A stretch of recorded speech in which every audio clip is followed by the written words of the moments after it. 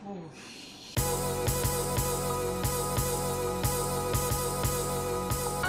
guys, selamat kembali kepada Mau Tips minggu ni dan minggu ni kita nak bincangkan do's and don't apa yang hampa kena buat dan apa yang hampa tak boleh buat bila hampa terlepas panggilan penting daripada tempat yang hampa apply kerja tu. Jom tengok video ni. Aduh, macam mana ni? Hmm, dah terlepas dah call. Nak call balik tak? Aduh, nanti kalau call balik apa pula dia cakap? Dah nak cari kerja kat dia. Selepas call tak? Okay, TheBalance.com mengatakan yang benda pertama yang hampa buat selepas terlepas panggilan penting tu adalah korang akan panik. Jangan panik.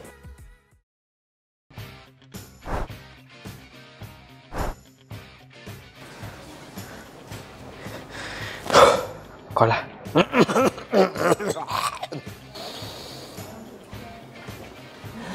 First thing first, korang jangan menggelabah. Korang relax dulu. Dan sebelum korang call balik tu, ambil segala job description, ambil korang punya resume dan korang tengok balik background pasal company tu. Dan juga jangan lupa untuk ambil kalender. Kenapa? Sekejap lagi saya beritahu. Kenapa kita perlu sediakan semua benda tu? Ini kerana sebab kita takut bila kita call tu, terus diperbuat temu duga melalui phone. Okey, tarik nafas, dial balik nombor tu dan cakap seperti biasa. Hello tuan, maafkan saya kerana terlepas panggilan tuan. Saya cumalah seorang manusia yang lemah dan naif yang tak terlepas daripada buat kesilapan pada hari-harinya yang biasa. Saya bukanlah seorang yang perfect. Saya harap tuan dapat maafkan saya. Janganlah terlalu menyalahkan diri korang terlepas panggilan tu. Itu bukanlah first impression yang baik. Hello, Assalamualaikum Badan Sistem. Oh, maafkan saya tadi saya terlepas uh, panggilan. Ya, ya, ya. Saya siap buat yang uh, apply untuk kerja tu. Okay, saya secara ringkas minta maaf dan beri alasan kenapa korang terlepas panggilan tu. Beri alasan yang munasabah dan masuk akal. Saya minta maaf ya tuan. Korang dah minta maaf tu, janganlah diam je dan biarkan penemu duga tu yang startkan conversation. Tunjukkan minat korang betul-betul nak kerja kat situ. Boleh saya tahu dengan siapa saya cakap? Oh, Cik Faizwan. Uh, okay, adakah ini masa yang elok untuk kita berbual? Okay, Uh, so, boleh saya tahu kenapa Cik Faizal buat panggilan sebentar tadi?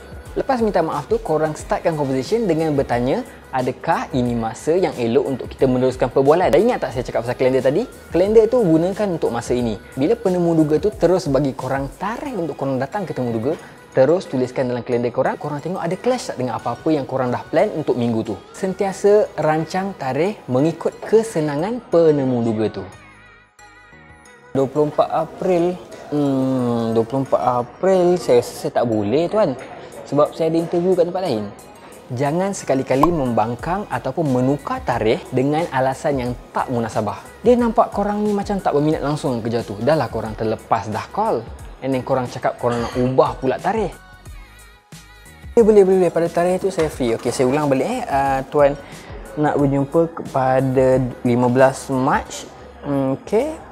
Hari Khamis ya pada pukul 3 petang. Okey. Boleh tuan, boleh tuan, boleh tuan. Uh, saya jumpa tuan pada hari tersebut lah. Okey, terima kasih. Assalamualaikum. Bila korang dah bersetuju dengan tarikh temu duga tu, korang akhiri perbualan korang dengan korang sendiri yang mengulang semula tarikh dan tempat temu duga tersebut. Dan tamatkan perbualan dengan ayat yang berbunyi friendly. Okey, itu saja perkongsian untuk hari ini. Kita jumpa untuk tips akan datang.